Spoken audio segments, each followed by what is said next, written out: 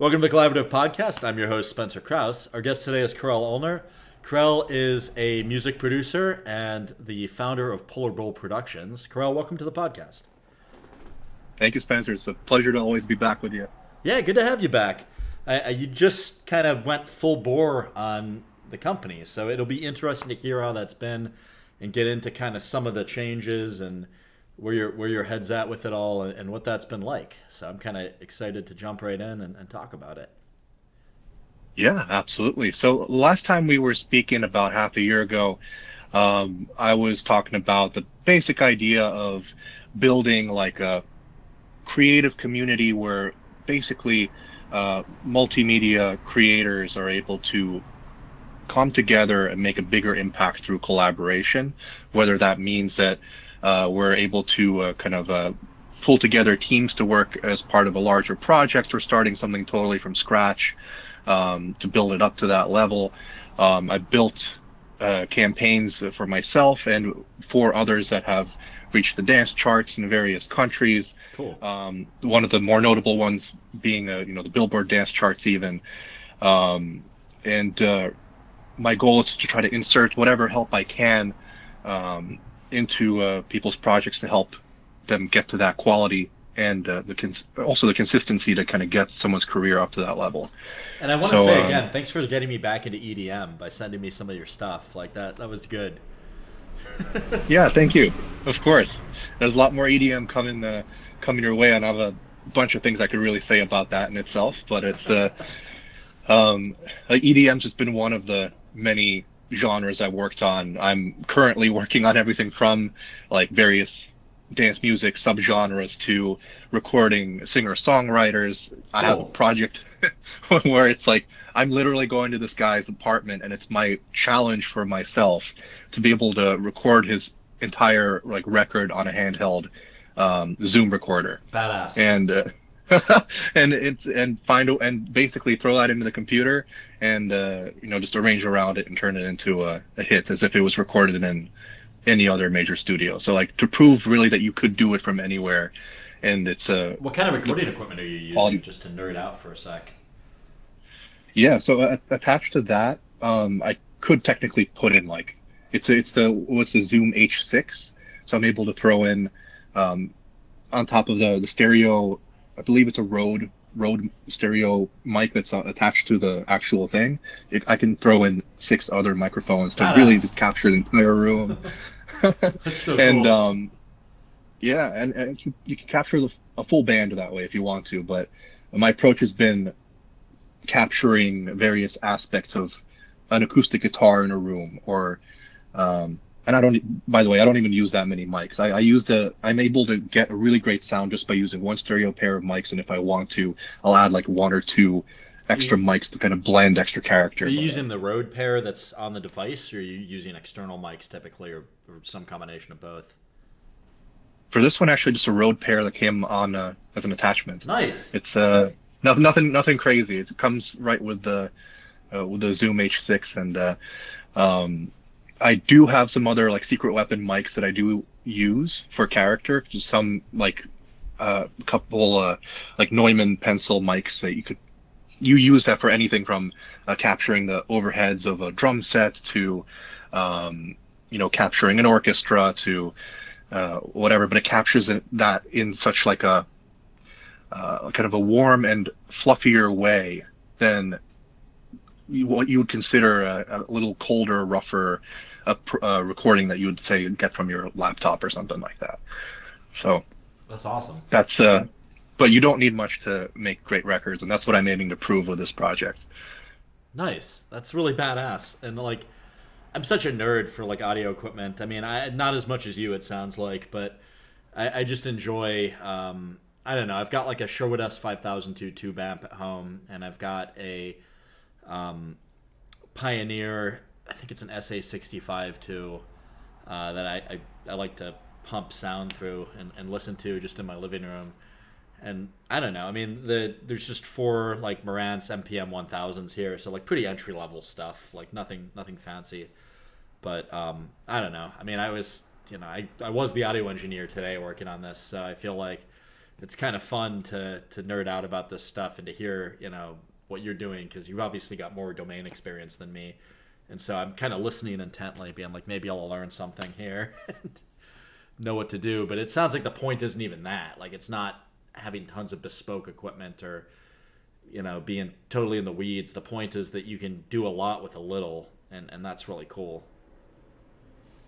Oh yeah, and uh, I think last time we talked a lot about even um, all the information you can find on YouTube, just like to be able to use basic basic tools. I mean, um, obviously when you're doing something for the first time, it's not obvious how all this stuff works. But like, um, I guess what I want to get out there is that you could, um, like, once you know what you're trying to achieve, there are all kinds of tools at your disposal. Um, you don't have to invest a whole ton of money to be able to make something great. You could easily accomplish your goals with like homemade tools, basically. That's awesome.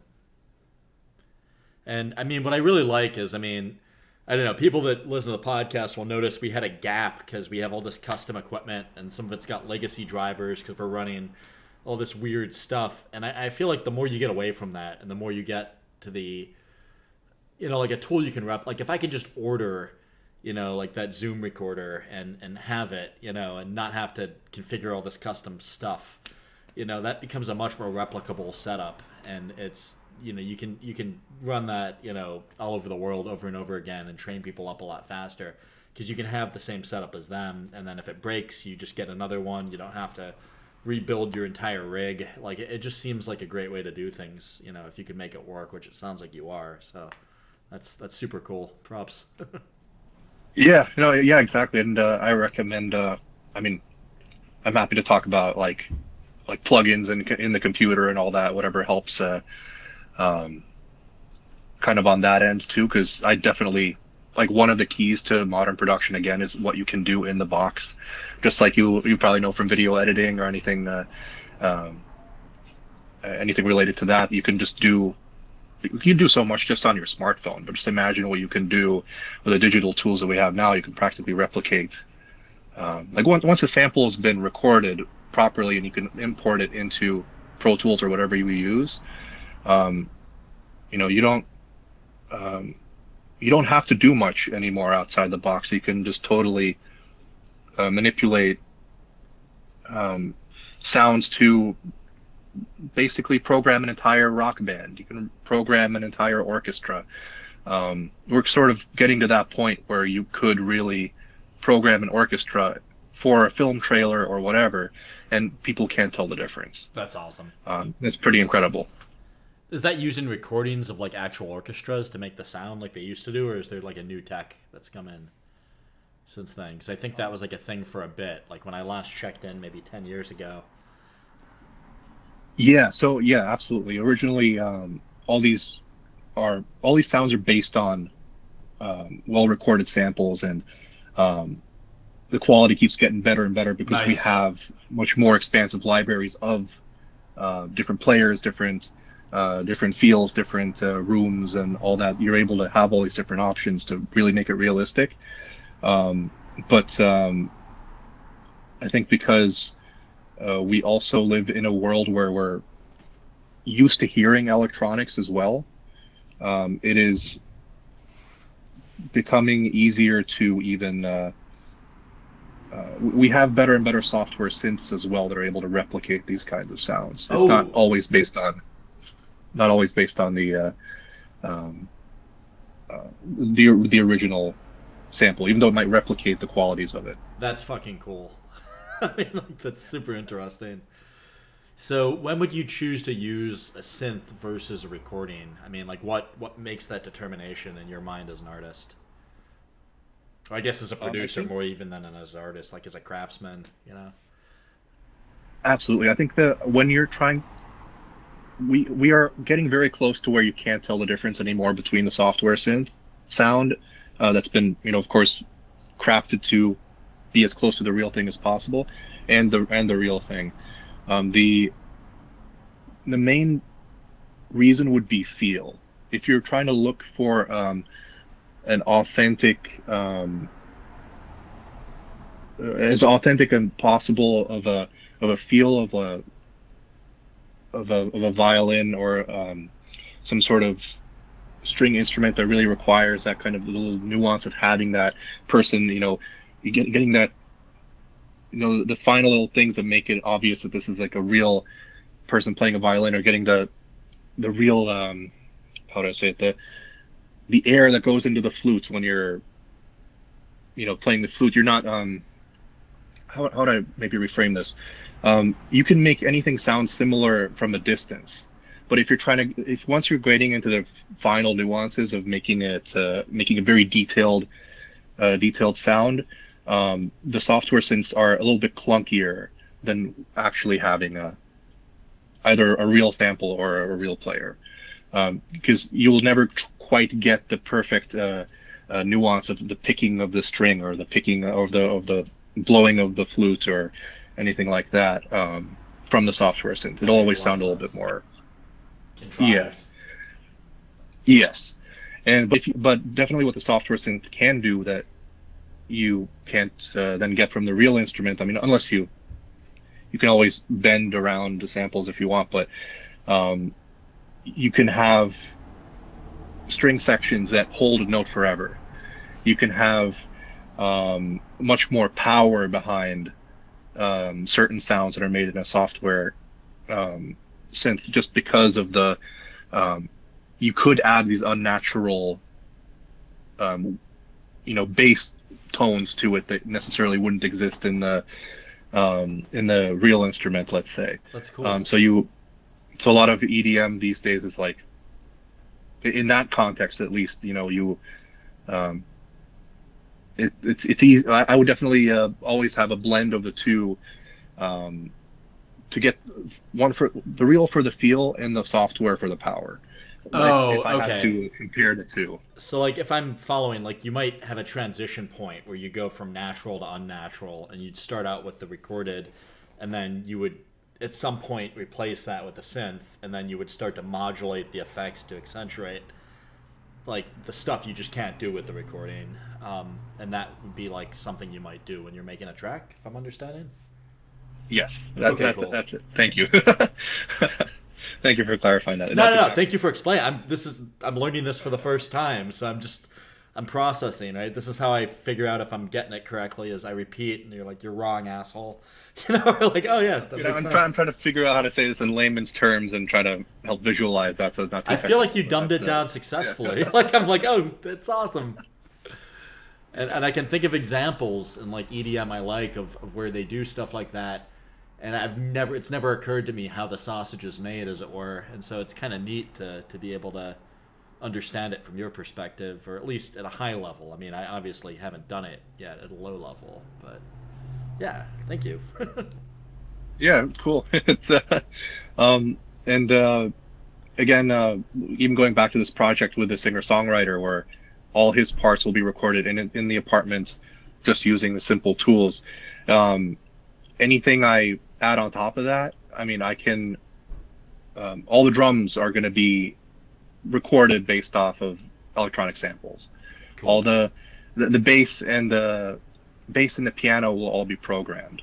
But I can guarantee you that if you didn't know that, you would probably not you would not know because you're able to create such a great blend of having the real feel of an acoustic guitar, the real vocals on top, the all the the the harmonies on top will um, uh, create that nuance that you're looking for from that artist, but you just add these other elements for the just to fill in the space, and you don't care as much about the nuance of those, so it's okay for it to be electronic.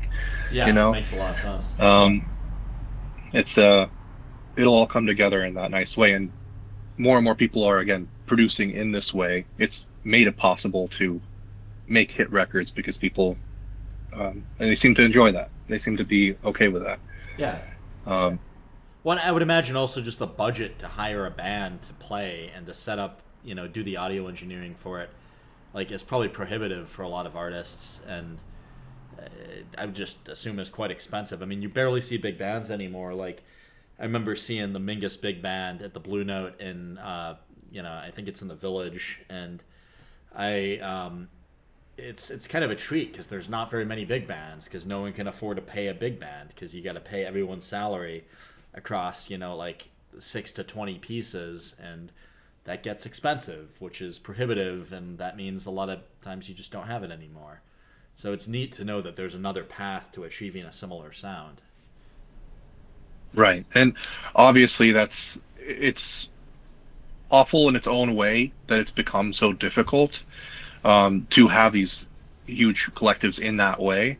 Um, I don't. It's not that it doesn't happen anymore, but it, it, it's actually more likely that you'll have someone record their part remotely and they'll send it to you and you get to piece together again in Pro Tools. You know, it's just uh, it'll be faster. You don't have to get everyone together, pay pay for the time for everyone to be there. Um, and if you screw up one and, take, uh, now you have to pay everyone again to re-record, even if yeah. it was just one hungover person. yeah, exactly, yeah. exactly, and that's also the that's the you know the beauty of I guess the the modern way. I mean, I guess it's not as great for the music studios that um, uh, obviously invested millions into the gear that they have, and it's obviously the classic gear that all our software is based on. And you know, you would love to, uh, you need to have a way for that to still exist, uh, but maybe the the form that it's going to be in 10 years from now is going to um, who knows maybe it's a software company that ends up owning this technology they end up uh, I don't know. The, the, studios end up creating more samples and they do record real artists. It just uh, becomes harder and harder to maintain all that. Yeah, makes sense. Well, I mean, it sounds like you still are recording real artists, but you're just doing it in a way that's modular because you can record one artist here, one artist there, one artist here, and synchronize it now, like, you know, with people in different parts of the world. Um, and so that's pretty cool. So okay, so we started to talk before we recorded about local versus global. I feel like this is a good transition point as to what the current work looks like in that regard. Um, do you do you want to talk to that at all about like kind of where you find the balance there? Sure, absolutely. So the goal, obviously, with the uh, amount of so uh, maybe a little bit of backtracking is, uh, I guess, maybe this will also tie into the whole copyright thing, but um, in today's world to be able to show that you have a, a decent audience and that uh, you have the quantity to make money off of a, uh, whether it's advertising or royalties or whatever you really it is much easier to think that you need a global audience. And you that is obviously the goal. You obviously want to get there because then you know in today's world uh, you know uh, a billion streams is more like a, a diamond record than uh, than what it what used to be like a million or 10 million uh, album albums purchased. Like that's that's really what everyone's striving for. How do we get to like a billion streams of anything and doing that as frequently as possible? that's that's really the only way that we're able to like properly um, make money off of like let's say one piece of work. Um, that's but, interesting. Who's achieved that like a billion streams? I mean, I, I was listening to the Wu Tang Clan yesterday, and on their most popular song, which was Cream, it was still only 300 million.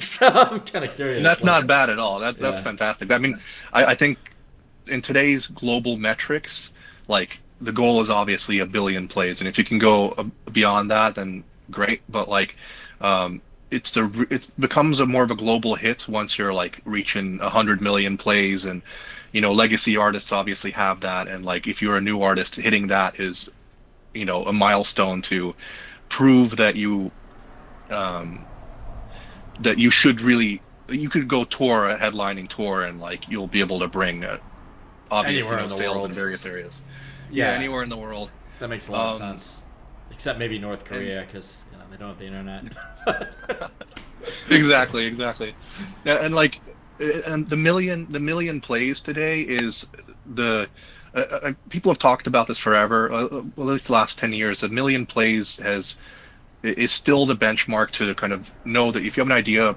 that approaches 10, 10 million views in anything that's probably something that has legs. People will continue to share that. And it's uh you know you have um you have uh, an actual fan base that you can use um, to kind of gather gather data, figure out what it is that like people want to hear more of. Um, not to at all put down like the artists that are not at that level yet. That's obviously what I'll be getting to, trying to get to that million plays.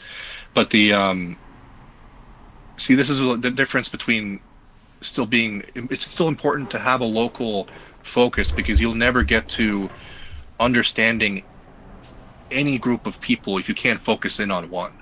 Yeah. Like if you can't truly understand, like just like with the, um, and, and we really like I I'm not sure how someone who was 10 years, 20 years younger than me views this, but back when I was in high school, like the goal was to just get your group of, um, I don't know, let's say, I mean, I'm pushing it by saying 20 people, but if you have like 20 friends who used to came through your through your you know jam band, you know garage or basement or whatever, if they liked what you're making, you know they'll come to your show and that was good enough to like put on a local show. Nice. And then people heard about you and they might buy like a T-shirt or something, and that's like that was. Uh, I mean that still is a way for people to to make money, but it's not nearly focused on enough because everyone's always focused on the big global numbers. Um, if you're able to it just it doesn't matter what industry you're in. If you're a personal trainer or a musician or really anything if you're able to get like a core group of people to really like you and you can like make a couple bucks so you can do it again that really should be the goal. Because then you can then you can extrapolate that out to like um you know then we can then we can talk about the quantity how we can like get more quantity of content out there to get um get more data you know figure out like what people like maybe do more of this and than that and keep going down that path but like the local still matters because you have to find that core people if, That's if, if it's interesting. 20 people I feel like that applies to, to contract engineering as well as I as I perform it, because you know SKA has a bunch of core clients, mostly in Pittsburgh, some in Boston, some in the Bay Area, but I mean it's kind of what you said. Like we mostly focus on the Pittsburgh market because I would say it's easier, but it's it's easier, it's cheaper. Like to, to sell locally and to get people like you where you're at then you can make a little bit of money and get to do it again.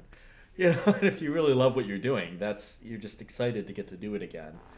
And I, I mean, it's it's weird to compare contract engineering to music production or being in a band, but I don't think it's all that different. And so, like, I don't know. I mean, I think it's a similar model, and it's interesting to hear you talk about it because I feel like it's related, and and it applies to to both worlds.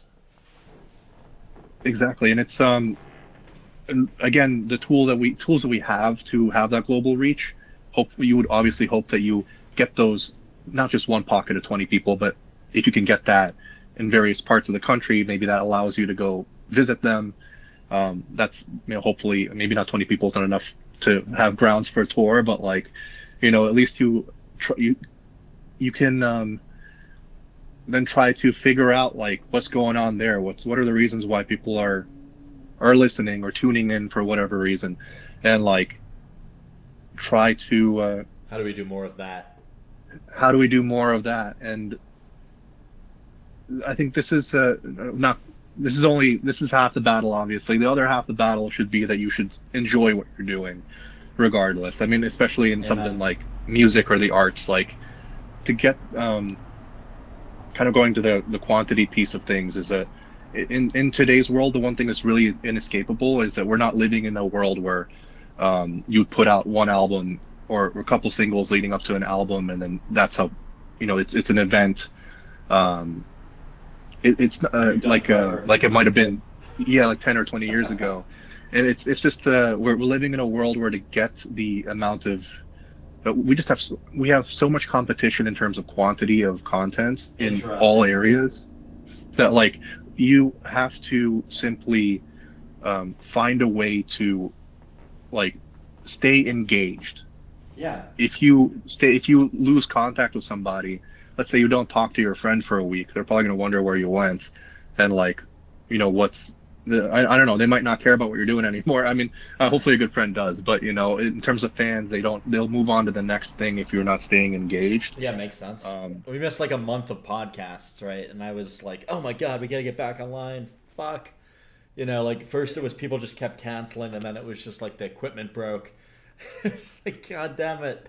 You know, we got to get Right. back in there cuz we're going to lose our And foothold. it- I- exactly it's it's not always that way but like the uh you know if you view today's um, content I, I say content because music has sort of because of the sheer quantity has become just a content creation game just like creating youtube videos um, you're probably probably doing both realistically. If you're a musician, you're creating some sort of social media visual content that goes along with uh, with your with your music. So you're you just have to view what you do as um,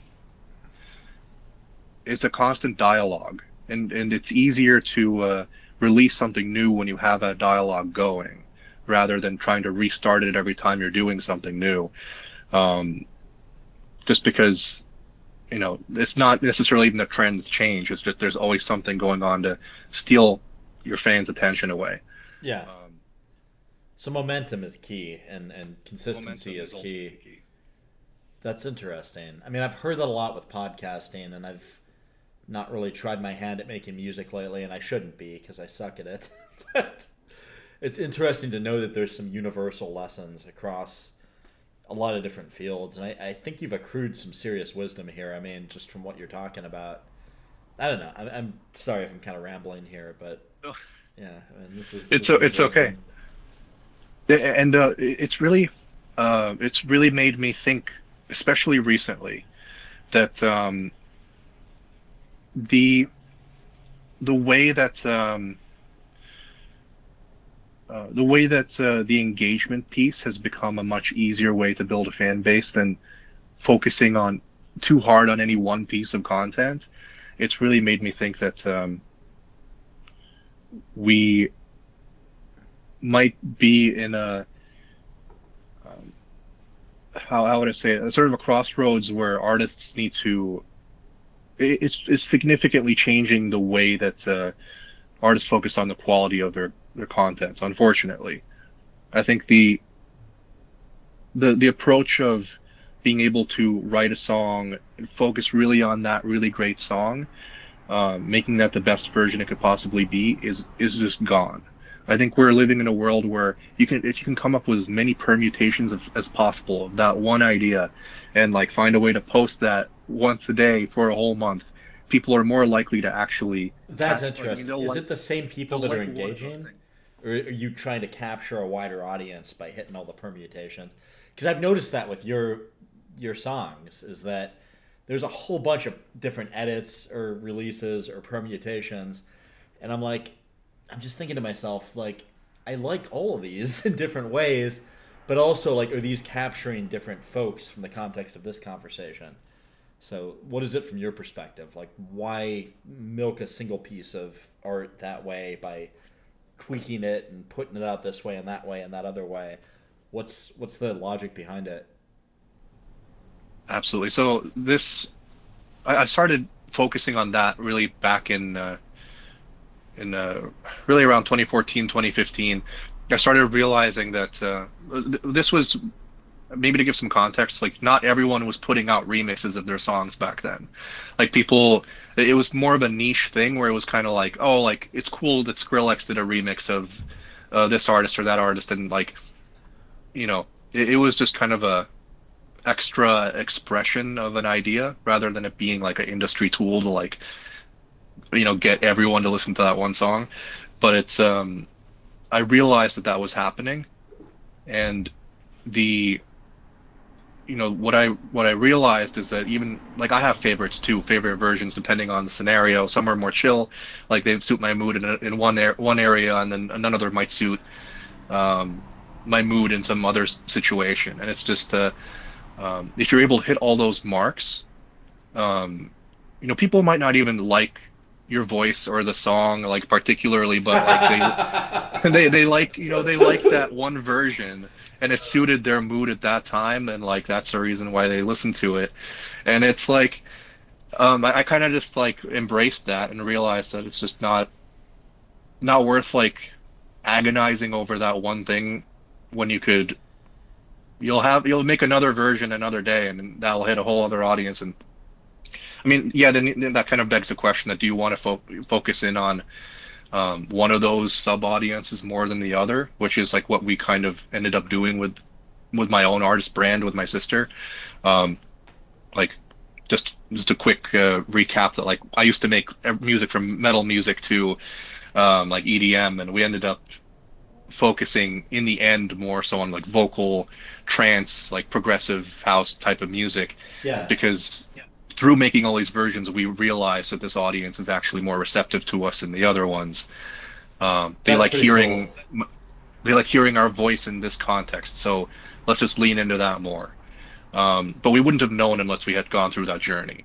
Yeah, makes sense. So, um, so I so I guess to sort of summarize, you have you're able to hit so many different uh, groups that you otherwise would have never hit, but then you can also use that as a learning lesson to be like, okay, we're gonna we can go down this path, um, and create an even tighter bond with this group if we choose to. Um, and I love to view like the work that we do as creating like a we're creating a contribution to like a canon of music that already exists yeah. um, the better we can do that or make some sort of like, even better if we're able to make like a some sort of change in the revolutionary change like Skrillex did for you know dubstep at the time that he came out that's even more exciting but you just don't get there until you've gone through that journey you know Yeah, it almost sounds like you're collecting data and you're trying different things out to see what lands and what doesn't.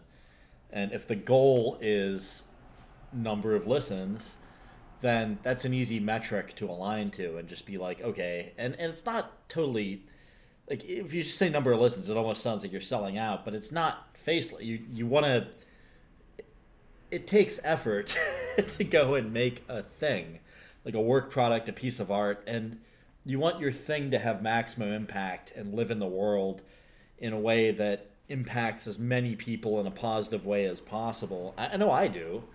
And so if you're going to put in all that work and you're going to put your heart and your soul and age and spend X number of years of your life, you want to make sure you're maximizing your impact. And so if you've got data to ensure that outcome, which is, you know, when we do this kind of music, people seem to be receptive and enjoy it more than when we do that kind of music. Maybe we'll do this kind of music. And I enjoy making both these kinds of music, but society seems to really enjoy vocal trance. So let's make more vocal trance. you know, so yeah, that makes a lot of sense to me. That's- right that's very and, cool. and then but then on the contrary it's not always um, you don't have to take that approach where you um, you, you could do something totally experimental as well and i'm absolutely for that too um, I, I think though that um, what i find with just artist types in general is that why I keep emphasizing the quantity and the consistency to create momentum is that you could have the craziest new idea, but if you just do it once and you just leave it there, like nobody will ever know. Like nobody, like all these people who could have learned about what you're doing with that sound, like they'll never know unless you created, uh, unless you accept kind of these, these facts about being able to engage with people in today's like landscape. Unfortunately, it's like um, artists love to really hone in on this one perfect creation, and that is guilty.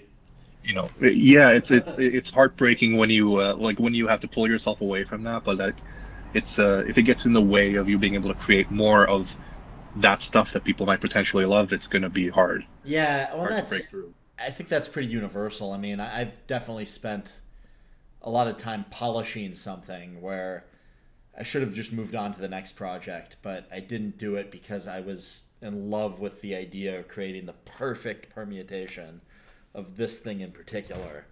And so, I don't know. That's interesting to know that that's a universal experience for a creative or an artist, as you put it. And it's not just limited to me and my dumbass. no it's, like i think it's I, i'm i'm like i'm guilty of it too and like i i do think that the the time and if you do choose to try to come up with something totally new and making sure that it works like um just make sure you don't spend your time making a, a song one song for one for a whole year. Like you know people it's much more likely it's just simply the data shows unfortunately that the more exposure people have to a certain idea I mean, whether it is that you spend a million dollars to try to promote that one song so everyone hears it, or, or just you know, more realistically coming up with more similar songs that you can release on a monthly or you know, ideally a weekly basis, like you would be able to, uh, you would be much more effectively cultivating an audience that way. Are those remixes or just leveraging a similar concept or both? Remixes could they could leverage a similar concept. Um, it although there's more to that as well. I could talk about the more kind of Machiavellian way of going about that too, which is I'm like interested. I've read the Forty Eight Laws of Power and The Prince. Let's talk. like the, the the more Machiavellian view of it is that you could, you know, which is what the industry does regularly, is that you're, um, if uh, it's the easiest way to reach a, an audience that, if you know that something works with an audience, like get a remix done by someone who already has an audience, and like that is also a. That's just the easiest way to break something through. That's like an automatic win Yeah, and it's um that obviously takes investment that's a different type of way of working but like uh, I, I wouldn't suggest doing that until you already have a core fan base and you kind of know what you're going for Yeah, well, it almost But, sounds like, like that's more of a marketing approach where you're just, you know, this is our goal. How do we achieve that? You know, right and but that's what that happens all the time in the industry and this is i, I want to say that because i want that i want people to understand that that's a little bit separate than what they should be focusing on when they're first starting like if you're creating let's say remixes in a similar domain like um i would say that i like to i like to approach things as broadly as possible and just really just you're you're removing uh, the options as you go along. You just kind of see that over time that certain things don't work. You move on a little bit from that, hone in a little bit more on uh, ideas that do work. Then you can, as you said, like really hone in on a certain domain, make remixes in that one world. Um, uh, that's the way I would kind of just broadly speaking would go about doing things. uh, Like you, like I would have never, like if I had honed in into uh, purely making metal music when I was like 16, I and never explored EDM music as an option. Like I would have probably not been able to. Uh, um, I don't know. Maybe I would have come up with something really interesting in the metal music world. I don't know, but like I wouldn't have gone down the path that I have and been able to make all the connections that I had that were actually happening in the. I don't know the explosion of creativity that was happening in the EDM world at the time. makes a lot of sense. Um, so um, that that was I mean again that was an interesting story in itself. Like I wouldn't have necessarily gone into EDM music had it not been so hard to keep a band together. Like that. who knows? Who knows? It's it, but like I you know it's, it's funny to think about how things like turn out, but that's like, I, I just love the verbiage of had it not been so hard to keep a band together like that. yeah. it cracks me up because like I, I don't know what it's like, but it definitely is a little bit of a cliche, and I believe you. So- Yeah. I mean, it's easier to go full force and like be the one man band and find a ways to perform that way than it was to, um, you know, I don't know, just like going back to everything that we talked about before. Imagine how hard it would be to hold, you know, a band together, Herding getting all these things done that need to be done, versus just being able to kind of focus on your own and like yeah, it's at a least get the basics done really well. it's a different set of skills to be able to manage creatives than it is to create. It's a totally different set of skills. I mean, and I- I'm talking from the perspective of engineering right now because that's what I know. But it's to get engineers and designers to work toward a common goal is it's my bread and butter, but it's also it's it's not easy. It, it takes you have to be a psychologist, you have to be an engineer, you have to understand design to some extent, you have to be a strategist, you have to, you know, perceive like the most minute aspects of human expression and then hyper focus in on it and sometimes you're wrong. Sometimes you come off like Joseph Stalin because you're looking into things that don't even exist. But other times, you know, it's just like, oh, I caught that way before it became an issue. Ah, rah rah rah Yeah. you know and so i feel like it's similar like I, and I, I hate i'm sorry to keep drawing parallels between my business and your your business but it's a conversation so That's no, that's fantastic. I, I love that there's all these parallels because I I do believe that at the end of the day that if um, I don't believe that the music industry is that different than other industries, and I think it's uh, kind of doing people it does people a disservice to make them think that this is something um, that defies like the laws of reality. You know what I mean? Yeah, or just certain rules that psychology or- work or- in business. yeah, the laws of people. Like, I mean, people are people are people. you know, they're gonna, they're gonna be people. you can. Right. I think when you understand that, like, I mean, you've got a tremendous advantage. But I mean, you still need to be, you know, a, a viable creator of work product. Uh, on one project we got into recently, excuse me, I, I've really been enjoying jumping into the engineer's role and not just being this manager that doesn't do anything. I, I've kind of, you know, I mean, I, I wasn't wanting to do this when we started. I'm like, you know, I need to focus on sales and business development and all this stuff. And so I, I only have so much bandwidth to devote to being an engineer. And I will hire more engineers, but then our, our client imposed a cap where we could only hire X number of engineers. And so, you know, I'm just like, well, shit, we still need to accomplish our objectives.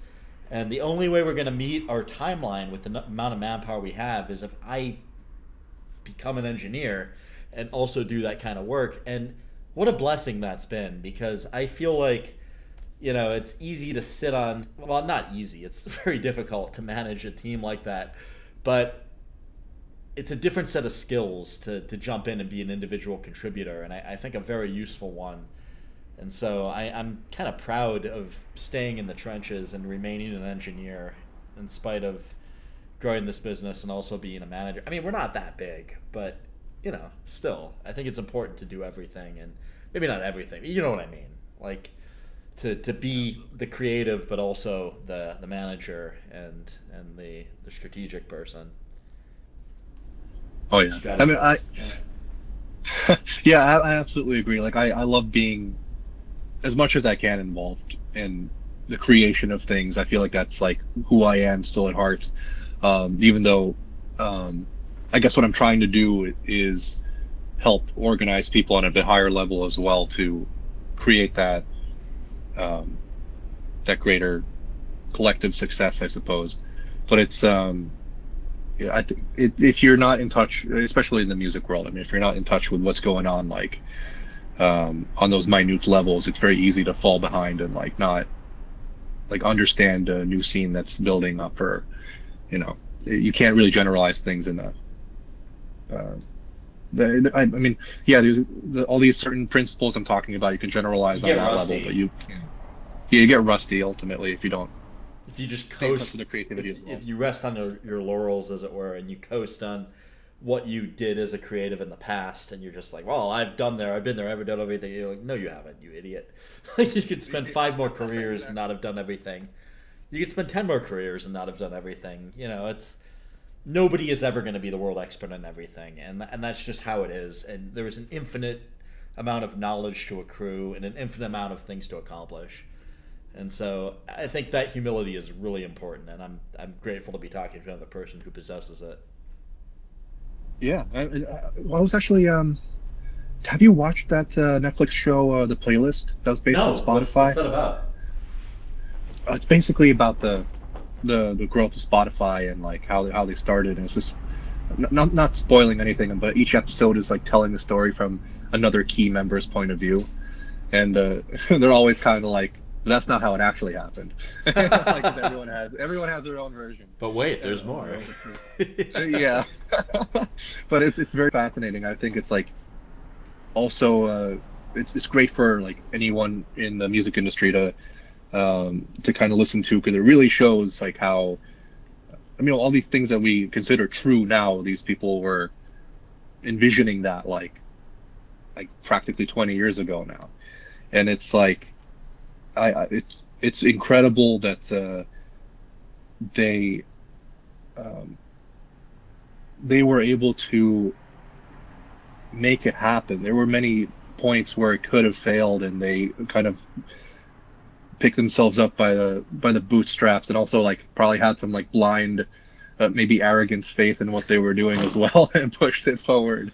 But it's like they, you know, it was it was just very like uh, I mean, I mean, It's a combination of like, skill and luck. no skill and luck. I mean, obviously they they had good funding from they they, they had uh, people who believed in them um, to help them fool around and figure something out. They also had very talented people working on it, obviously, but it's uh, you know, it's a but it's a it shows that it can fall apart even for them. You know, there's many points where it could have fallen apart.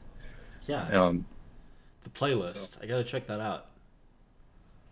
Yeah, it, it's it's a good one. It's uh, I, I, love I, the dramatization. I also love the idea of like you know just rebooting to another person's view on the same event. Like that just seems like a lot of fun. Yeah.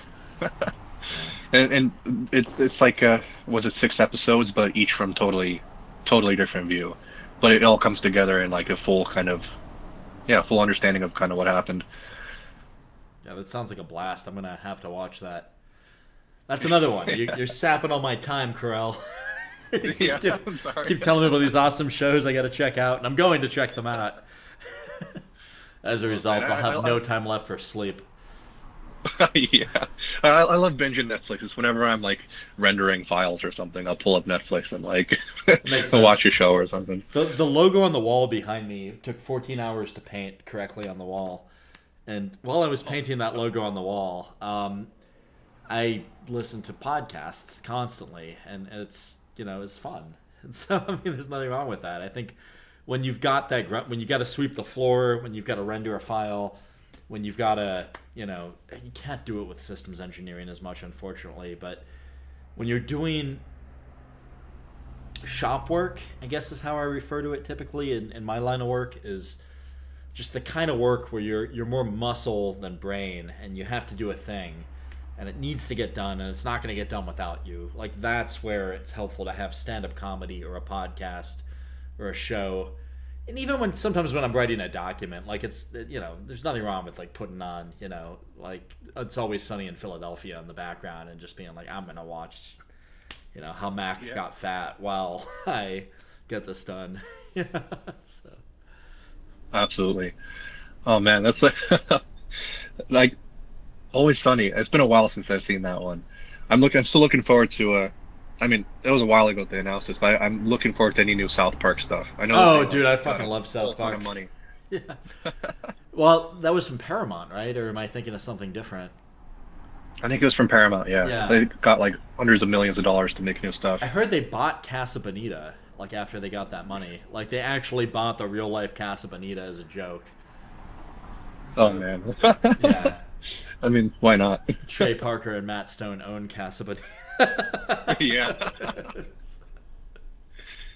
Oh, that, that, yeah. That's amazing. That's uh, artistry right there. Yeah, for sure. No, it's taken the piss to the highest level. I mean, it's it's incredible. Did you see that show they did at Red Rocks Amphitheater with? Uh, I think they had Primus and um, okay, so it's Primus. They had Rush, and then they had one other band that I'm trying to remember participating and they did this like three-way concert also with voice actors from South Park singing songs like Uncle Fucker, and um, it, it, was amazing. Like uh, Primus, Ween, and Rush. Those were the bands they had, and so like just to get all those guys to to be on stage at the same time. I mean, I can't remember which one, but one of them had to get back together from having broken up. And so they talked them into doing that, and then they're just like, "Shut your fucking face, Uncle Fucker," you know, like nice. to, to convince, you know, like, you know, it was like four women singing that song and like belting it out, you know, and I mean, it was it was hilarious, but it was also like, you know, quite quite the endeavor, and and so pretty cool to see. That came on my YouTube feed at one point. I was like, "Oh, this is awesome." I I think I got like halfway through it before I had to do something. so, yeah. No, that, that sounds fantastic. I'm gonna pull that up right after we're done. Yeah, dude, really definitely let me know what you think. yeah, I, I, love that stuff. I mean, did you watch the Paramount like post COVID and uh, yeah, streaming wars? I watched all those ones. Yeah, I thought yeah. those were those were good. Like I, I feel like they're back to their roots, where you know they're. I mean, they're back. You know, it's not like just you know whatever's topical it, it's kind of i think that'll stand this test of time and, and still be good in in 40 years or 20 years or whatever. Like people will watch that you know like charlie chaplin's the dictator and yes it's political and topical and to do with what was going on at that periods of time or is it the great dictator the great dictator? But it'll also you know like it'll stand the test of time and that it'll you know, I mean, it's it's just good content in and of itself, and it's witty and clever, and I'm glad they're kind of back to that mo of just. Which kind of goes back to what you were saying earlier about like, do you hyper fixate on your art or do you release for quantity? And I feel like they must have hyper fixated on that a little bit. Like they must have put that extra five percent of polish in to make it that good. Like they must have. They must have spent a little bit more time and money and effort just making sure that it was cohesive and well thought out and awesome. Because I, I feel like it Oh, yeah. really stands up. Absolutely, and I- I'm sure at their level, um, they're, I, it's great. I mean, remembering that back in the day, at least they used to uh, procrastinate, and they would. Uh, I think one day they would get the shows done like last minute. Six days to had to air. Yeah. And like, I mean, I, I guess you can only really get away with that with uh, everything that they have go, like everything they have going for them. They have great teams, obviously. They probably know each other really well, that they can get away with that. But it's like, um, oh man, it's like the. I, I guess when when you are also really honed in on that level, you could surely um, like getting in that five percent probably doesn't take as much time as you would think. It's probably their they have uh, probably a, a lot of uh, to some extent they're checking each other surely and many uh, many chances to uh, like kind of comment on like improving something and if you have the and if you have the right team of course you can always fix up something pretty quickly I'm thinking of the 80-20 rule though, where like, you know, the last 20% of the work takes 80% of the effort. And I feel like that must be true in this instance as well. Where like they must have put in just an order of magnitude more effort to get that caliber of, of release. But I might be wrong also. I'm just speculating as a as a fan. Like there was something special. i was thinking of like again uh, we talked about dave chappelle last time i i I love Dave. Chappelle. I'm seeing him on New Year's. I've I've got You're my tickets. on New Year's? Yeah, Columbus, Ohio. we might have an extra Oh, seat man. if you want to go. Like, I mean, I'd- love to i'd love to come if i could yeah, message me. I, it might be some money because I think my one friend bought like ten tickets and he's trying to sell them off to like you know serious fans. But like, if you want to come, we we got like a suite uh, at a hotel there. I don't know which one, and then a bunch of us are just gonna go and like see Dave Chappelle and like you're you're you're invited. So like like text me and remind me. Yeah. Thank you. Um, I, I would love to go. If uh, uh, the I actually uh, one of the things I wanted to tell you about was that um, I am working. I'm working on a bunch of different uh, musical brands um, at the same time. Basically, um, there is um, segueing into why I need to be in New York on New Year's Eve. Unfortunately, Ah, is uh You is, bastard. I would I'd absolutely love to see Dave Chappelle, but there's a we are.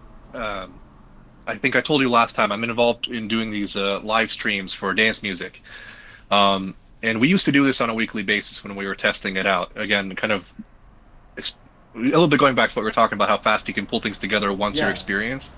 But the uh, like for the first two years that we worked on this, we streamed every week. We tried to figure out like what what what do people like and who are they, where are they, and like what are they doing while we stream and like everything ridiculous like that. And like now we do it once a month because we know that these people love that love when we pack all the best stuff into one one thing once a month. Um, but we we do every New Year's Eve a live stream marathon where it's a minimum of 12 hours. Used to actually be like a 15 hour thing where we would hit all the the, the main kind of a new uh, New Year's events ranging from like the Middle East to like California Cool. um, and and we uh, it's it's one of our biggest nights uh, where we also try to bring as many guests as we can. We usually try to get like a minimum of a couple artists that we're working with to do like an hour set each, even if it's remotely. Like they're able to, you know, we're, we're they're, I mean, they're sending us a. It's like a radio show. They're sending us a, a set that they made that was live, but we're, you know, we'll be performing it for the first time. That live set on that radio show, if that makes sense. That's awesome. Um, so like, uh, and we want to do more and more of that. But New Year's Eve is going to be a, a a live streaming marathon. it used to be my friend and I, DJ Braj, he's my DJing partner. Uh, we used to just go back back to back for 15 hours straight, and we'd be we would just pass out afterward. yeah, I would imagine so. we do every we did everything from uh, uh, you know a segment of uh, you know um, all the biggest hits from the last 10 years to like the the most uh, requested tracks from uh, from this year to here's like the deep cuts from this type of music and the deep cuts of this and then uh, the end we just go absolutely bonkers with the energy That's like cool. you know go like pretty much hard style or dubstep or I'm kind of like now. I'm like, why do I have to see Dave Chappelle? I want to be in New York. but I mean, I think I told you my parents live in Manhattan, and my sister lives in Lower Manhattan, and my brother lives in Brooklyn. So we got to find a way to connect. Like, I'm sure I'll be in the city at some point, and I should probably hit you up when I am. absolutely just let me know when you're in the city well Yeah. i mean i'm not uh, i'm i'm always outside the city but i'm always kind of coming in every now and then Yeah, well, and I um, for Thanksgiving this year, I didn't even go. I, I went to a coworker's house and hung out with him and his wife and kid. But like at some point, like I mean, you know, I'll find a way. like I've got plenty of reasons to go, and so I just need to let that activation energy build up and either fly out or do the six-hour drive from Pittsburgh. So yeah, is it six hours like i, I it's approximately six hours. Yeah, I, I feel like on, on a really good day, I, I drove out to uh, closer to Philly. But, but Philly's a Pittsburgh is lot closer than away. Pittsburgh. Yeah. Yeah. You can get to Philly in like two and a half hours from Manhattan, I would say. because Pennsylvania is massive. Yeah, it's, a, it's, a, it's a big, wide rectangle. it's, it's, and, and we're in western Pennsylvania, and so we're on the other side of the state from Philly. Absolutely. No, I mean, I, I love. I've never been to Pittsburgh. Still, I'd love to go sometime. So obviously, uh, I mean, if you're interested in robotics, we've got a lot of robotics going on. That's that's like our thing now. Is is we're just a huge robotics town, and so I mean that's I know we got a good food scene. Uh, we've got a decent bar scene. Um, we've got a great robotics scene, and it's it's a good place to be. Um, you get a lot for your money here, which I really really like. Mm. So unlike New York. Amen. Well, and like my brother probably pays like seven times as much as I do in rent for his Brooklyn place. Uh, and then he's got an Austin, Texas place that I'm sure he pays way more than I do in rent as well for. So- Austin, Texas seems to have. Uh, I'm, I'm sure that's like blown up to like astronomical like values at this point. yeah, for sure. I mean, my brother and his wife were trying to buy a house a while ago, and there's no fucking way. Like they, they told their landlord they wanted to buy the place, and he just laughed at them. I can imagine. Yeah, it was like no. Yeah. I'm gonna keep milking this asset as long as I can. Yeah, I'm, I'm curious. Uh, like, have have there been any projects like kind of in your uh, like periphery going on related to, uh, let's say, I don't know, machine learning and uh, like content creation? Like we are talking about the AI art. Oh, interesting. and, We were talking about that.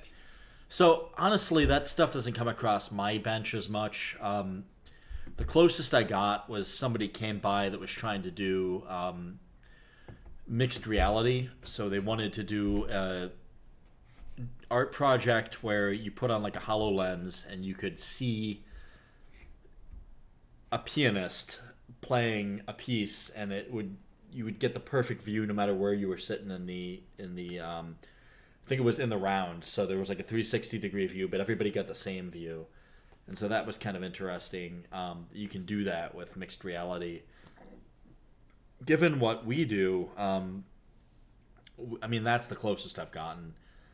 But I mean, I really enjoy. I've got a buddy who's a data scientist, and I've got a few, but I've got one buddy in particular who's like really got me into as a drinking game, opening um, OpenAI, DALL-E, and just try to put in ridiculous shit. So like my Microsoft uh, profile picture right now for like the Office suite is a lobster smoking a cigarette from OpenAI. Thank you.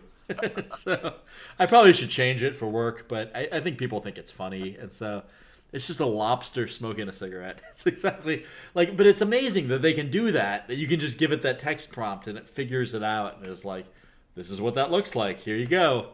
You know, I mean, it's just incredible that the the technology's come that far recently. And so, what are your thoughts? Like, what have you been looking into in that area? I've been very fascinated by um, the idea of this being possible also on the music front or audio front, whatever that might be. That's wild. And I, I'm not, you know, I confess that I'm not like close to any project that's happening in that area currently, but I would be very interested to, like, if I don't know if somebody wanted to start a project like that, I would absolutely love to get involved.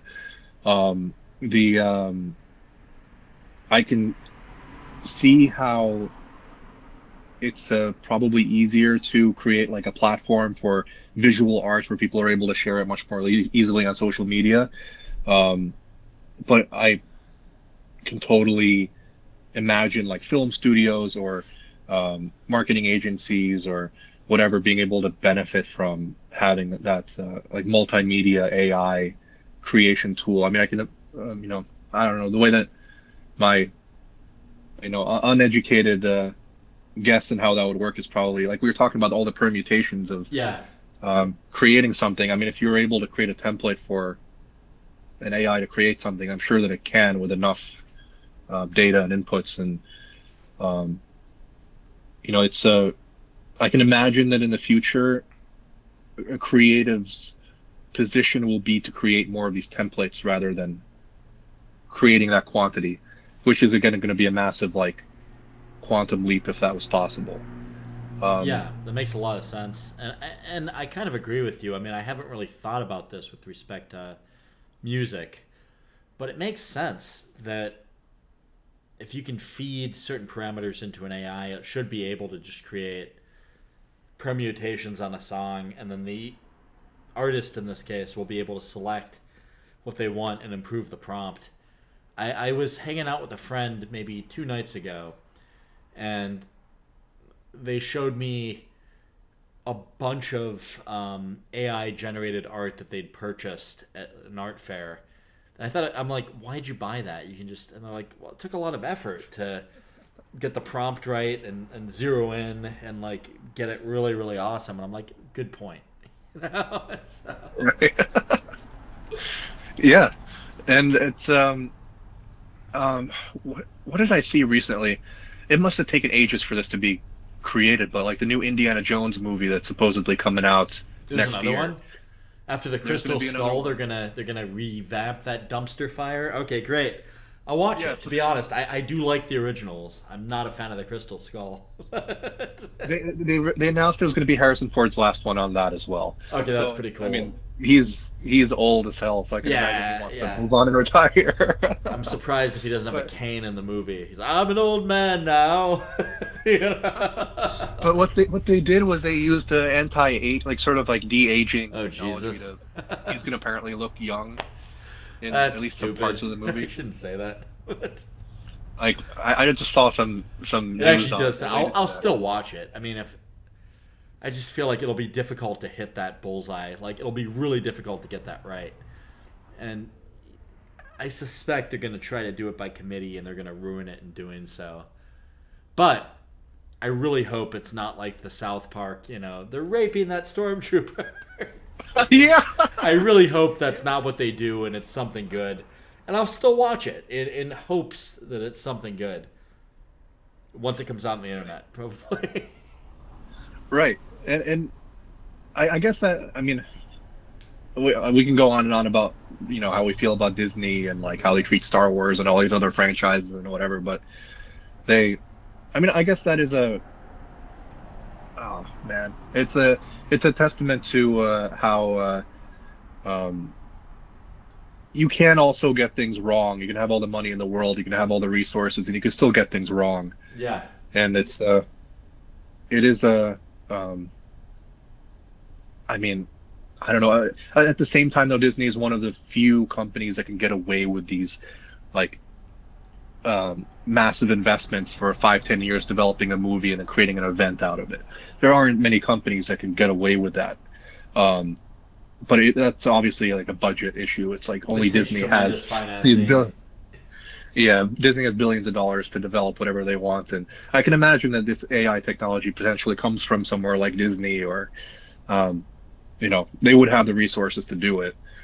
Um, it is a matter. Of, I mean, I, I going just going back to being just a matter of time. I do think it's a matter of time that like um, we will have more and more AI collaborations between content creators and I don't know whoever the owner of these companies are. Straight up math, yeah.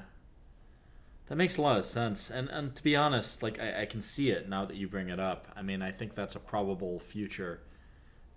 Probable. I mean, I say like ninety percent. That's where we're going. You know, so yeah. I, I mean, I haven't thought about that from a music perspective, but you're right. And uh, yeah, I mean, it's people were concerned again when like Pirate Bay came out, talking about the copyright and all that. Yeah, this is something I've wanted to talk about with you. And that's yeah, that's uh, uh, the copyright issue. Like, it became obvious back then that like people can get something for free once it's been digitized. I mean, who knows? Like, it's a. Uh, I mean, people will do whatever they can to try to get it for free. So it's like the, it could be music, it could be really any other information out there. If uh, or maybe one day we have uh, we all have uh, 3D printers and we can create our own stuff, and you know we might not even need manufacturing anymore. Who care? Who knows? But uh, just throwing out ideas like once yeah, we could get there, but it's far out in terms of the 3D printing technology we currently have. I, I heard a speech eight years ago by somebody that claimed that by now we would have the ability to print entire robots. I'm like, I don't think so. What would it take to print uh, an entire robot? I'm sure like you need a massive machine and a lot of. Yeah, well, uh, like I, think the ability to print circuits in a reliable way is is currently very very challenging, and there are companies that are doing it. So like Nano Dimension, I think, is one of them, and I don't know how good their tech is because I haven't really looked at it under the microscope. So I, I just don't know where the current state of the art is. But given my understanding of where we're at, I mean, to get good electrical properties out of something that you've printed, and to get, I mean, it costs, you know, hundreds of millions of dollars to stand up a semiconductor fab. And there's a reason why. I mean, it's it's very difficult to get that level of accuracy on that small of a a thing. Um, and even to do that on on a bigger thing is challenging. Like to be able to get, like if you wanted to create like you know, Charles Babbage's different. I mean, I think you can print that now, but like, I mean that's 1800s technology. I think maybe 1700s. Don't quote me on this, but it's hundreds of years old, and and you can you can barely print that in a reliable way now, and so I don't know. I, I think the technology is lagging and, and it's difficult. I mean, it's it's really challenging to be able to print, you know, a semiconductor. I mean, I don't think you can do that. Like maybe you may be able to at some point in history. You probably will be able to at some point in history, but I don't think we're that close. And I, I think it's going to take a lot of time and knowledge of a lot of people, and failure and failure and more failure. And and it's a lot of people don't appreciate or realize that and I think I've come up with a way to frame it where I don't sound like a pessimist. It's just, I mean, that's what it takes. Like, Thomas Edison failed 300 times before coming up with a light bulb. And it wasn't him, it was him and a massive team of folks working, you know, day and night.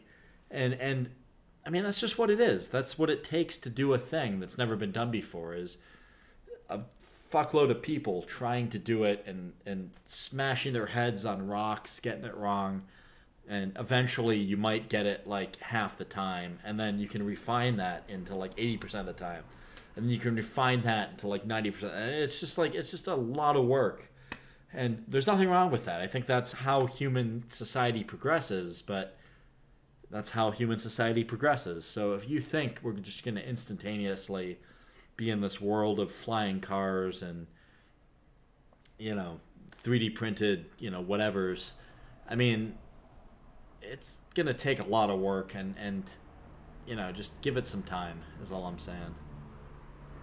Sure. Uh, so uh, i guess uh, sorry i'm asking you questions now but no, uh, do you think that do you think that um, it's inevitable that um, at least if you're able to make something cool enough that people, if there's a market for people to buy these kinds of new, uh, you, you have these new incremental um, advances in technology. I mean, I don't know, just the, the, closest thing I saw recently to a flying car was like it was basically like drone technology, but turned into like a bigger thing that people could sit in, and like it's not like people would be able to practically use that now, but you're able to let's say go to Dubai and be able to fly around in that in the desert. Is this Joby or, or something different?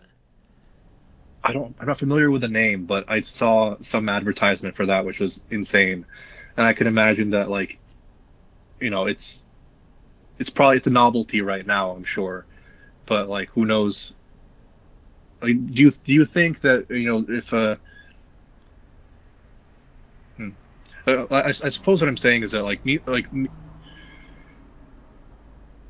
you get to a point where something is cheap enough and you can kind of mass produce it. If you have enough interest could that potentially like take over? I mean could it like make it you you can't violate the laws of physics or but then again i mean we were able to put a person on the moon from like what is it the kennedy announced that intent in like 62 or like you know, by the end of this decade, we will put a man on the moon, not because it is easy, but because it is hard. You know, and it's like we were able to actually do that. And it, it took a shitload of work and money. Shitload of money. But, like, I mean, you have to unify a lot of people behind a thing. And it just takes time. And, and, and there's failure. We blew up a lot of rockets trying to do that. I mean, and, and people died, you know, and I mean, that's that's how it goes. But I mean, we got there in the end. So like, I don't know. I, I think yeah, you know, it's it's achievable to do that sort of thing. But like, you have to consider that when you're pushing the limits of technology, there's always going to be failure, and I don't think there's anything wrong with that. I'm sorry if that's like a little bit of a diversion from the question. No, no, absolutely. That's that's great. I, I think um, I guess where I'm going I guess where I was originally trying to go was uh, I guess talking about the, the whole copyright issue. we went all, all, the way over totally here from different. that, but I, I guess uh, just kind of going back to that, like something I've been really pondering again in the face of this quantity of content and all being more important than creating one commissioned work in most cases. Like the, I mean, I can imagine that this could music might be the first casualty of this, and I can imagine this could, in other ways, affect other industries as well. But once you have so much access to a certain product, I mean, like the you know the the battle for quantity and presence becomes more so the importance there, and the uh, big, you know, but the what it's created an environment where you know the, the major players major investors they invest we've gone back to investing in people people who have a track record of being able to replicate certain uh, results that they're looking for. It never comes down to one piece of work. It's always a series of um, projects or, or work that just kind of proves that this person is capable. Like you i wonder if um, I, I don't know I, I guess what I'm what I'm saying is I'm seeing that uh, you know copyright, at least in the music sense, is not necessarily in, in, as important anymore. You're not. Uh, um, it's nice to know that you're being credited, obviously, for the work that you've done, but like by the time someone has shared your work a million times on TikTok, people are not necessarily looking at it for you. They don't give a They're fuck about your copyright yeah, they they don't care about the um, yeah they might they used your soundbite surely to enhance whatever it is that they did, but um, I mean rarely does that really result in any kind of real income for you. Yep. And it's uh, um, we have these new inventions like NFTs that attempt to make ownership important again. I I just really I wonder from your point of view, do you see that as the ownership after all this free access being important anymore? I, I kind of I wonder that myself. We don't have an environment where it's It depends on really the thing. However, maybe it doesn't. Sorry, doesn't make any sense. What I'm trying to say is like I spent a lot of time trying to figure out ways to patent technology that myself and several colleagues were working on. And at the end, the deduction that my one business partner came up with, and uh, I hope this doesn't get me in trouble, is that patents are for boomers, you know, and that's not really something that we should be pursuing. And so, I don't know. I mean, I, I feel like there's definitely, like, I used to work for a company called SpaceX. Um, I was only an intern, but I mean, I, I worked for them, and my boss Elon Musk's perspective on patents were like that's like a blueprint, you know, for someone else to be able to build your rocket, and so, you know, just defend your trade secrets, and and there's a lot to be said for that. I think. I mean, you know, I I um, I'm of the opinion that innovation, constant innovation, and making things that are difficult to rip off is a better IP defense than a patent or a copyright or you can't take this because it's mine, you know, and I don't know. I mean, I, I think I, I probably agree with you in this way. I mean, it's it's difficult to, to defend something just by virtue of like I'll sue you if you try to take this. But if you have a ton of money, you could probably tie someone up with harassing lawsuits if they try to take. Like I don't know. But at the same time, I mean, look at like like Disney versus like South Park making fun of Disney. I mean, like I don't know. I mean, you know, they still make fun. Like tons of people make fun of Disney. I mean, and I mean they've got the Millennium Copyright Extension Act, or maybe it's not the Millennium. I, you know what I mean? Like the copyright term, the Mickey Mouse laws. The idea that like copyrights now last forever and a day because of fucking Mickey Mouse. like the fact that Disney didn't want to relinquish that, so they've lobbied at, at the extreme scale to be able to extend copyright terms so that they can hold on to this ridiculous over a hundred year old IP of Mickey Mouse. And so I don't know. I feel like that's that's a real thing. Right. Absolutely.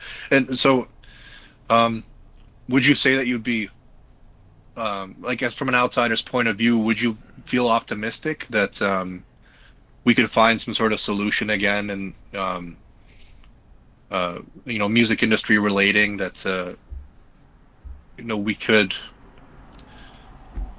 mm, I suppose the monetization model is really the is part of the issue obviously but it's you know there it's really hard to um, outside of Spotify, you don't really have much control in how people use your stuff. People can still rip your stuff off the internet and throw it into a DJ set somewhere, and then they take credit for the great vibes. Let's say great vibes that they created at their show, and they get hired, uh, you know, to do more DJ gigs and keep ripping, potentially ripping, uh, you know, other people's music off, uh, and you know, it, it's uh, there's nothing stopping from that's happening in the, in the broader music industry. I just gave one example of like I'm sure every like um, you know everyone is guilty of at some point like needing something for a school project they rip something off the internet like you know yeah it's yeah, like sure. it, it so it's not really a do you think that we can get people to care about that again it, it Probably is not. that it's a really difficult question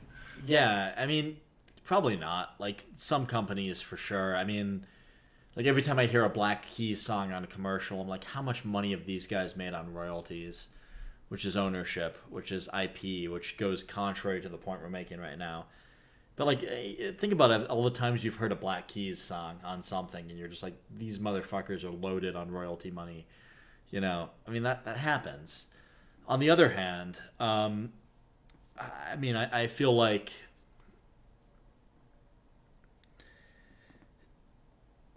there's other ways, right? I mean, we've seen this for like maybe 15 years now, like concerts versus album sales being the way that bands make money. I mean, I think that's big. Like the fact that I'm excited to see Dave Chappelle live in New Year's Eve this year, you know, versus I mean, I could listen to all the Netflix specials and you know, YouTube the fuck out of Dave Chappelle and I still wouldn't get to see him live. So I think there's something to be said for that too.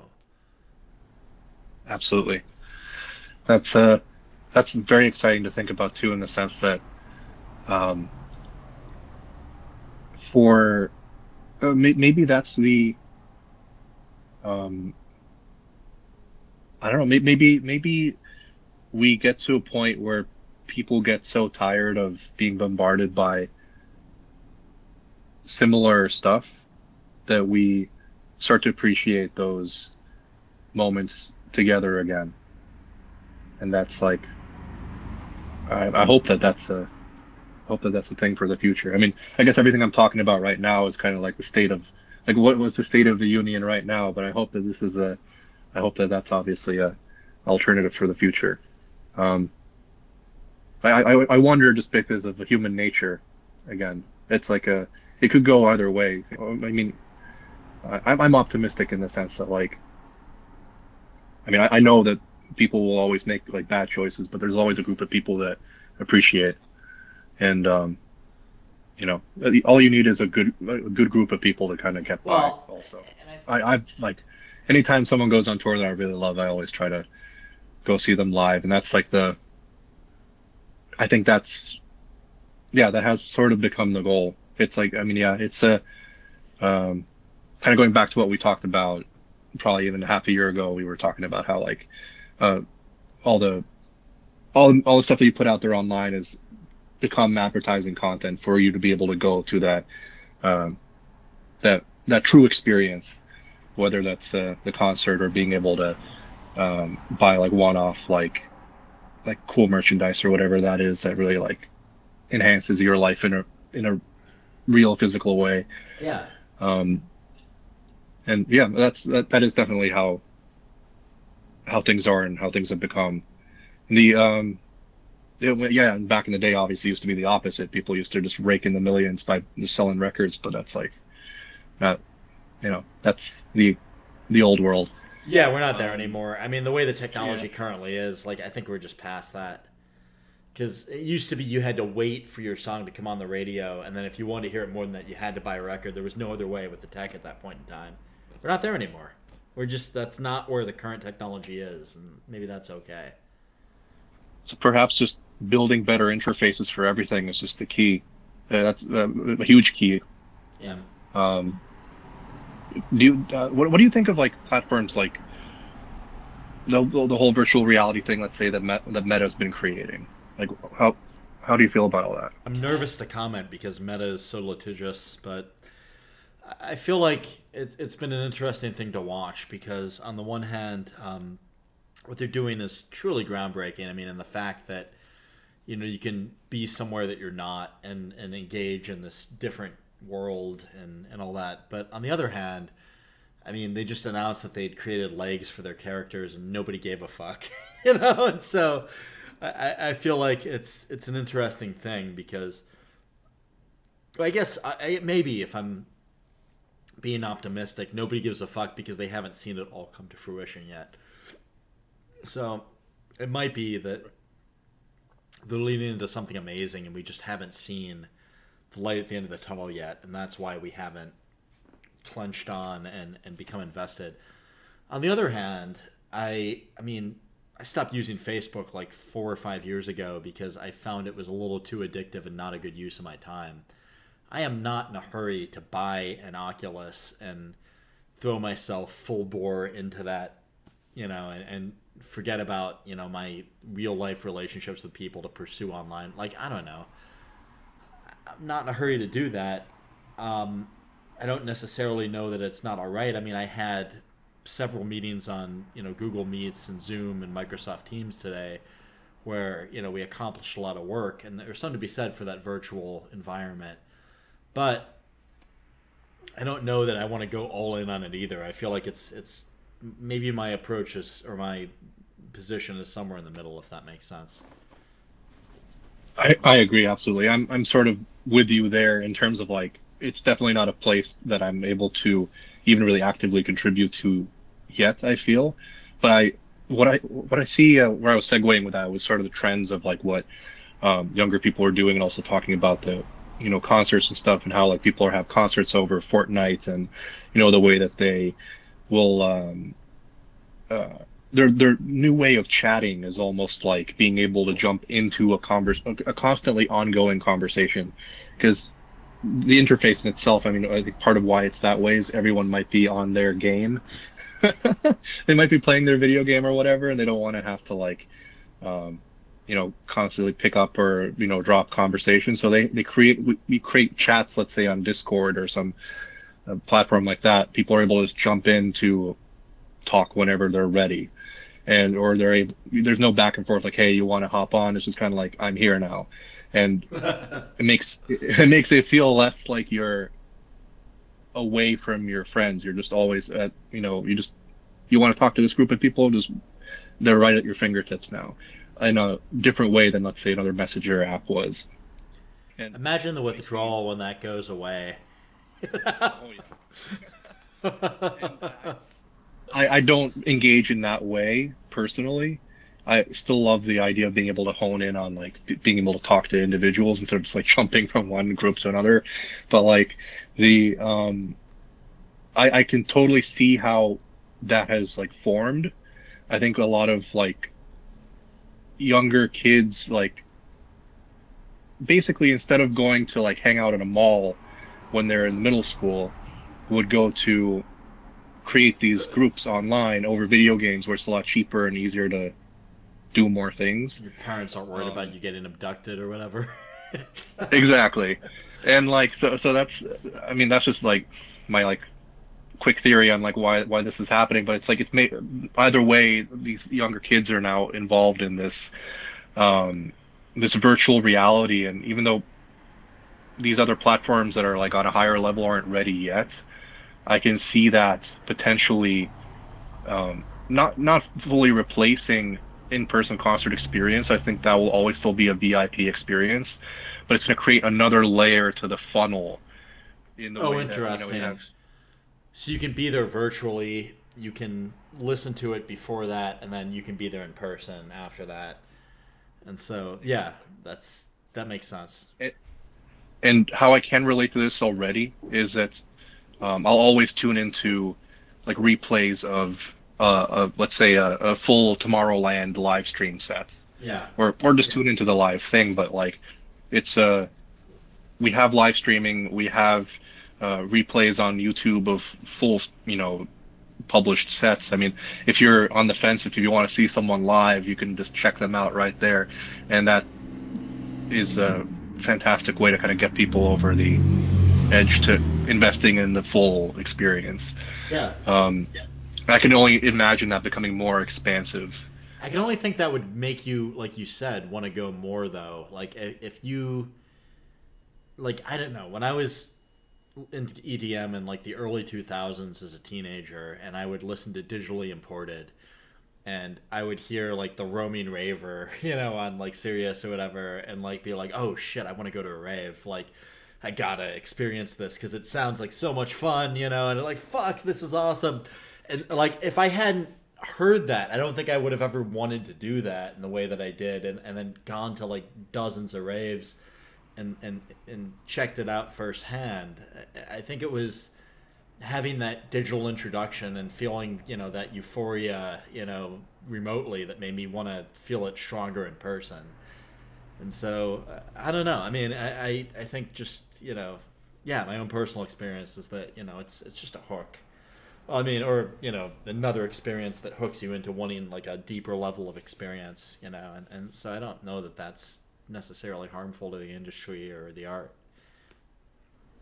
Absolutely, yeah, I, I, agree with that, and uh, I, I guess what I was, you know, all the questions I was asking before was kind of see like how far you know what is a risk what is the risk that these technologies can take over that experience? At what point does this become better than the live experience? I mean um i i mean this is one where i personally believe they won't just because people crave human connection yeah and we see what happens when people aren't connected and we've seen this like you know yeah. we don't have to in the more recent events, like what happens when people are stuck at home for too long. You can't hug someone over the internet yet, you know. And even if you could, like, I don't know, it's going to be the same. Um, I mean, yeah, the tech's getting better and better and better, but it's not a substitute for real human experience. and and you know just yeah, I mean the stories you generate when you go out into the world and interact with people one on one. I mean, like it's I don't know, maybe not. Maybe I'm an old man, but like I, I feel like that's always going to be better and more interesting and and you know more interactive. I mean, like you said, the fact that during the pandemic we had the height, you know, at, at 2020, like which is, I mean, it's pretty recently of of telepresence technology, and we still couldn't really emulate the feeling of like people were getting depressed and you know i mean i don't know. I i, I don't think there's a substitute yet and and maybe there never will be. Maybe there will be. I don't know where the tech is going in the future or how we're going to figure out how to supplement those endorphins or like what zuck is working on to try to do that you know? But i, feel like i don't know i mean it hasn't it's not been a replacement yet put it that way Right. Yeah, I mean, I, I guess uh, when it comes to all these different areas that these were these are all kind of questions that I had on my mind, and always curious to ask different people what they think. Um, I'm I'm I'm like so fascinated where these things could go, and in my mind uh, is like someone who sees like what like firsthand what people are like really uh investing their focus into. Like young kids are like like they love this technology. Obviously it's, it's novel it's novel now and who knows how people how much people care about it in the in the in the future once it's not novel anymore. But like i'm always just curious to see like what's that next to- technology that tips the scale towards um, a whole different way of working. Yeah. And um and i mean all these things already have tipped the scale towards needing to be a you know you're not just a musician. You're now also a you've got to learn how to use photoshop. You got to learn how to create some like cool videos. Like it's it's not being an artist is all these things now. It's not um i have to do that as a roboticist. Yeah. You know I, I was the other day going through some video shoots. I'm like i have to do video shoots. That's a real part of my life you know photo shoots and video shoots of, of robots i work on or nobody's ever going to know it existed you know and that's i don't know it's just part of the world we live in now. It's, it's where we're Yeah. at. Yeah.